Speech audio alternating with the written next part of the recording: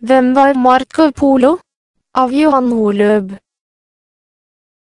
I denne boken kan du lese om en fyr som bodde i Venezia i Italia for 700 år siden, som reiste til Kina som tenåring og ble der i 24 år, og som skrev en reisebok som inspirerte Christoffer Columbus.